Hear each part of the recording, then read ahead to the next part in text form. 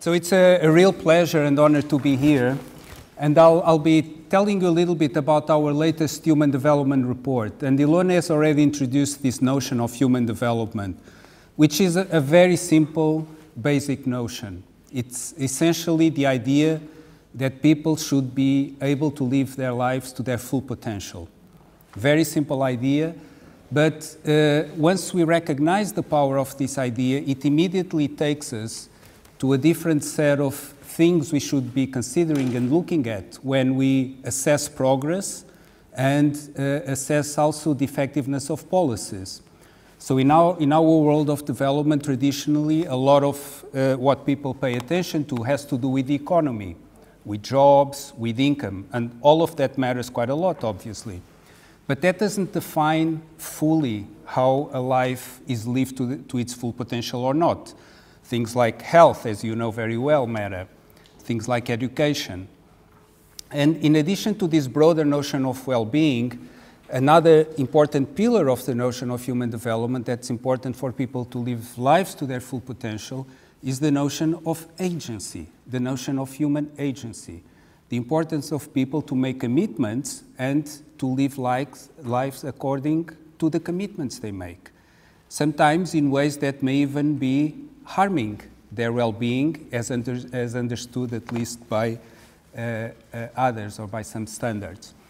So, these two ideas of a broader notion of well being and agency, the ability to make commitments and make life uh, and live lives uh, uh, according to these commitments, animate this notion of human development. So it's reflected in some metrics like the Human Development Index that Ilona alluded to, which is an indicator uh, that combines income with life expectancy at birth and achievements in education. But we have other indicators as well as part of our battery of human development metrics. For instance, we have a multidimensional poverty index. That's a measure of poverty in which income doesn't feature. Imagine this a measure of poverty in which income doesn't feature. Sometimes we think about poverty as being below or above a certain income threshold. Well, our measure does not inclu include income. Um, and I can give you examples of other of our indices. For instance, we have indices that account for disparities across genders uh, when it comes to achievements in human development. Um, and more recently, we introduced also to Ilona's point about the importance of confronting the challenges such as climate change and others, what we call the planetary pressures adjusted human development index. So this is a broad introduction about human development and over the last uh, 30 years or so uh, we've been issuing regularly human development report that provides information and updates on these new indices but also tries to uh, take a topic and uh, understand how a human development approach helps us to understand and inform the topic, the theme uh, in which we, uh, that we want to tackle in, in a specific report. Now, these reports often are about um, portraying how the world is when it comes to human development, um, and also to provide ideas, recommendations, suggestions on uh, what can be done to enhance human development. But this report is highly unusual. It's a very different report from the ones that we traditionally have done. Because it's a report that does not have at, as its departure point uh, the aspiration to tell people what to do. It, it, we felt that we, it was actually important to, to listen to what people were saying, to listen what people were saying. And what people were telling us, as you see on the title of the report, was that they were unsettled about their lives. Unsettled about their lives and living in a context of uncertainty. And we have lots of evidence uh, presented in the report that substantiate this idea of unsettledness in people's lives. So you see on, on, on, the, on the screen that perceptions of stress have been on an increasing trend regardless of the level of education of people. We found in our report that six out of every seven people around the world, six out of every seven people around the world feel insecure about many aspects of their life. So a sense, a perception of insecurity. And these perceptions of insecurity have actually been increasing in many countries, including in high income countries and countries with uh, high levels of the Human Development Index. 50% of the population in the world today does not believe that their living standards are better than the living standards of the generation of their parents. This goes against many of the objective measures of well being that we rely upon, that paint a story of progress. But it's not only about perceptions. If we look at what happened to the Human Development Index, the Global Human Development Index, since we started publishing it in 1990 up, up to, um, let's say, 2019, is a, is a boring story of linear progression, improvement. But in 2020 and 2021, for the first time ever, the Global Human Development Index declined, two years in a row. Not only that, what you see on this screen is the percentage of countries in which there has been a decline in the Human Development Index since uh, 1991 compared to 1990. So you see that every year there are a few countries in which there is a decline in the Human Development Index. One would expect that. Countries go through economic crisis, terms of trade shocks, there are disasters, sometimes linked to natural hazards, civil conflict. But you can see that at most, even around the time of the global financial crisis, 20% of countries show a decline in the Human Development Index. Now look at what happened in 2020 and 2021 you see this big spike in the number of countries that suffered a decline in the Human Development Index. So not only did the global average went, uh, uh, go down, but this decline in the Human Development Index was pervasive across 90% of the countries uh, in the world. And one of the consequences of these perceptions of insecurity and decline over the last two years of objective measures of, of well being is a deterioration of mental well being and mental health. So these numbers are before uh, the COVID 19 pandemic um, started. Uh, you could see that you have, for instance, as many as 300 million people around the world uh, reporting uh, anxiety, and this is most likely underreported, as we all know. Uh, and that one in eight people uh, were actually suffering uh, from some sort of mental distress. Um, and we know that since COVID 19, the war in Ukraine, many of these indicators for the places uh, for which we have data have actually deteriorated even further. Now, what can account for this unsettledness in people's lives? And now I turn to the uncertain times. So, this is our interpretation in the report as to why are we facing this context of, of unsettledness? And our hypothesis is that we're living through what we call a new uncertainty complex. New uncertainty complex, not necessarily a world that is more uncertain than in the past. I think it would be very hard to establish that the world today was, is more uncertain than, I don't know, 40, 40, 1944 or 1919 or uh, but uh, what we argue is that there are novel aspects to the uncertainty that we're confronting. And there are in particular, in particular three novel layers of uncertainty. The first is what we describe as the new reality of the Anthropocene. How many of you have heard the word Anthropocene? A few. So the Anthropocene is what the Earth system scientists and geologists uh, are proposing as something that describes a new planetary reality in ge the geological time scale. It's not formally adopted yet by geologists, but it is under active, active discussion. Uh, and we believe it's a, it's a useful frame because it brings together two very important ideas. First, that what we're confronting is not only something that is manifested in climate change, which has a lot of salience and we recognize its importance, rightly so, or I should say perhaps not enough. But, but certainly there's awareness about climate change. But it's not only climate change. It's what's happening to biodiversity loss. It's what's happening to the way in which humans are reshaping the evolution of life on Earth.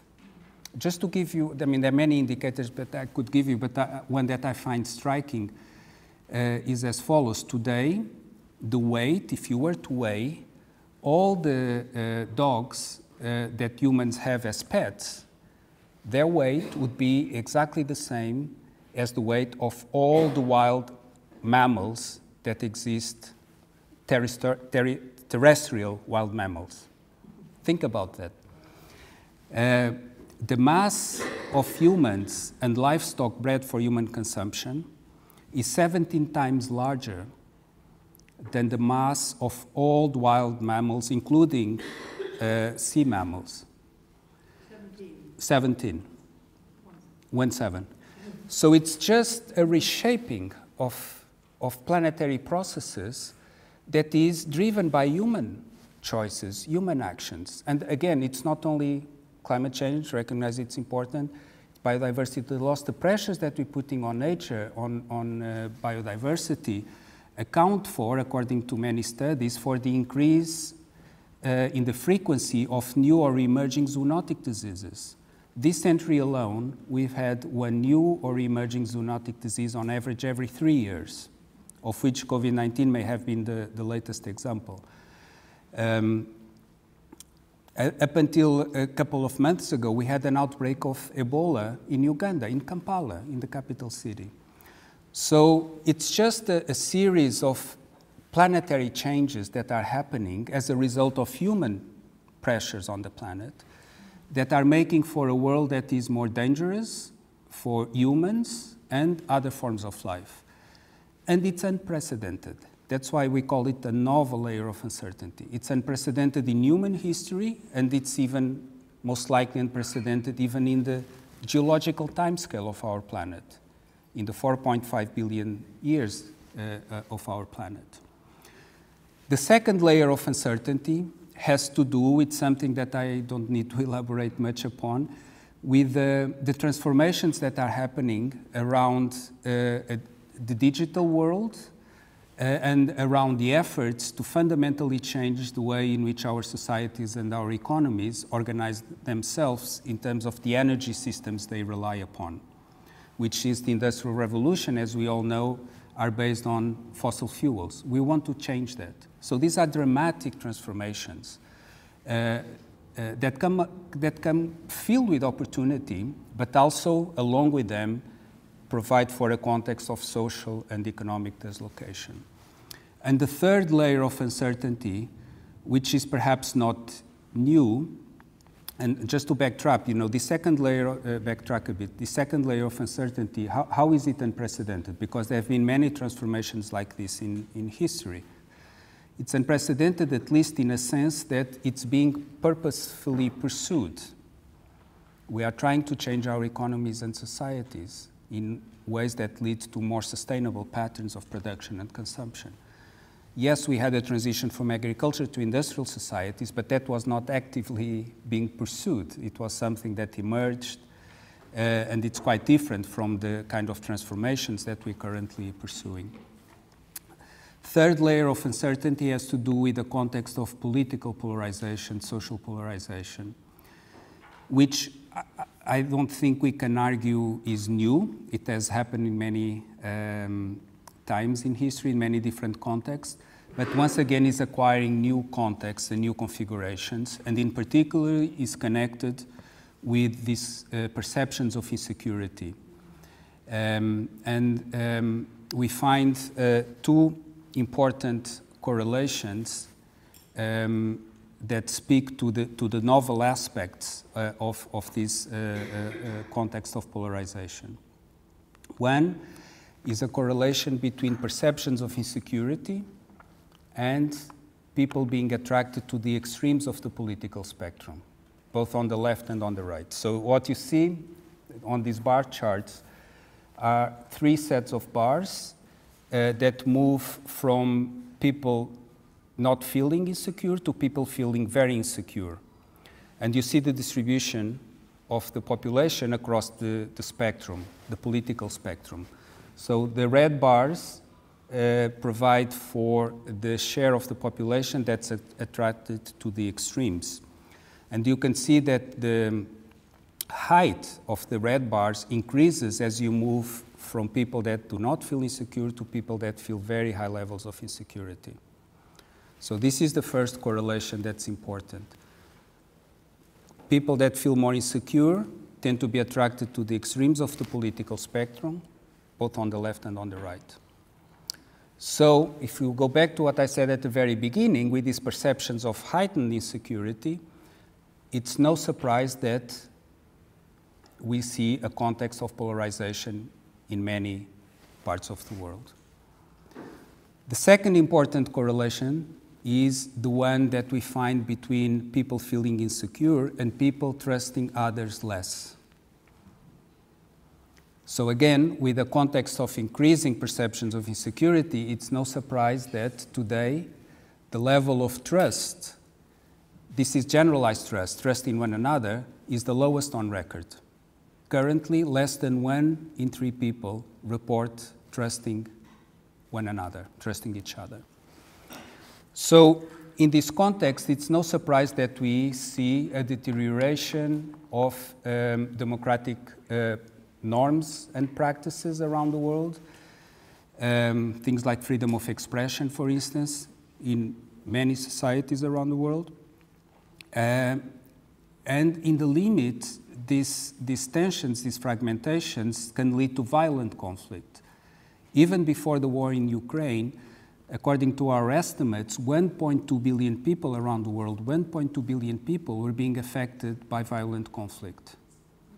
Not only people living in conflict areas or conflict zones, but affected by the many spillovers of violent conflict from volatility in food and energy prices all the way to forced displacement of people. So we confront a situation in which uh, we share challenges, the challenges of the Anthropocene, and seemingly our societies, both domestically and in the international context, are finding it more difficult to come together to address them. So this is sort of the bad part of the bad story of the report, but the report is meant to be hopeful. Uh, one of my colleagues at the UN said that uh, her, her daughter was, was asked to, to read the report for college, and she, she was so depressed, and, and that made me so sad because the report is not meant to, to make people uh, feel depressed, it's, it's, it's meant to, to make people feel hopeful and a sense of possibility. So here's how. how. A context of, of uncertainty and settledness is also a context in which it's possible to do things differently, to change reference points about what one considers feasible. And I think the experience that we all live through during COVID 19 provided for several examples as to how this has happened. We saw a number of vaccines that came online in less than a year, not one, but several. And you know about this process much better than I do. But I do remember that when the um, pandemic was declared, uh, reading in, in, in, newspapers, in the media, there were references to uh, the length of time for a new vaccine to come to be approved was as, as, as long as 15 years. And yet, in less than a year, we had multiple vaccines that were available that were dramatically and equally distributed, but at least there was this breakthrough on, on the technology front. We saw governments always have this concern about spending, uh, fiscal discipline. Um, we saw dramatic expansions in fiscal spending by fiscal authorities in many countries in the world. The European Union, for the first time, mutualized uh, its, its debt. We saw central banks take unprecedented measures to essentially uh, not allowing any viable firm to close its doors. And then when it comes to social norms, uh, we saw how we changed our behavior almost overnight. Using masks became standard. Uh, some of us are still using masks um, uh, social distancing. So there were dramatic changes in, in, in, social norms. So these are some illustrations as to how a context of uncertainty and settledness can also provide for uh, uh, doing things differently, uh, even things as dramatic as something that was previously considered unfeasible, possible. Now, it's very hard to do so if people feel insecure. It goes back to this idea of perceptions of insecurity. So, we argue that it's important to find ways to enable people to feel more secure. And uh, we highlight in particular uh, two aspects. Uh, one that has to do with that spiral that you see on, on the left, um, with, um, if you want, policies, more traditional policies, um, um, uh, and in particular, we highlight the importance of what we call the three I's uh, investment, investment in people, um, innovation, uh, harnessing not only technological innovation in ways that augments what people, humans, can do as opposed to replacing them, but also social innovations, institutional innovations, and insurance. Insurance both on on the social, on the public side, as well as on the, on the, on the market side. Um, and here I think it's important to give on insurance some, some perspective on, on the challenge uh, um, that extends beyond the countries uh, uh, where you come from. Currently, social insurance accounts for uh, between 20 and 25 percent uh, of uh, the economies of high-income countries, of GDP of high-income countries. So it's a big chunk of, of expenditure. Not enough, should probably be more, but it's already a big chunk. If you go to low and middle income countries, this percentage doesn't reach even 5%. So you can imagine how many people around the world feel in this context of uncertainty when they don't have what we take for granted in many of our societies when it comes to social insurance. Now, consider market insurance, private insurance. Losses that are covered by insurance in high income countries are about 50%. So, if there's a loss, 50% of those losses that are subject to uh, market private insurance are covered. Again, if you go to low and middle income countries, if you get to 5%, that already be a good an achievement. So you see these huge gaps when it comes to insurance, not only in high-income countries, countries with high levels of the HDI, but also spread around many parts of, of the world. So this is the domain of, as I said, more traditional policies of recommendations. But where the report really tries to uh, invite us to think a little bit more um, in a more novel ways, because we face a novel context of uncertainty, is by, by recognizing that if it is true that we need to change our behaviors um, in many ways, from the way in which we conduct ourselves as consumers, from the, what firms decide to produce, what investors decide to put their money in, it's important to recognize that behaviors are determined by incentives, certainly, but also by the social context. And here uh, we think it's important to understand how uh, we can harness social norms to uh, uh, drive people towards more collective choices. So, in the end, and I'll, I'll conclude uh, with this, um, we argue that it's important to double down on human development to help us to navigate through these uncertain times. Remember at the very beginning, I mentioned that human development has two these key ideas a broader notion of well being that goes beyond income, but also the importance of agency. Amartya Sen used to have the expression that we should look at people not as passive beneficiaries of transfers or assistance, but also as agents able to shape their own lives.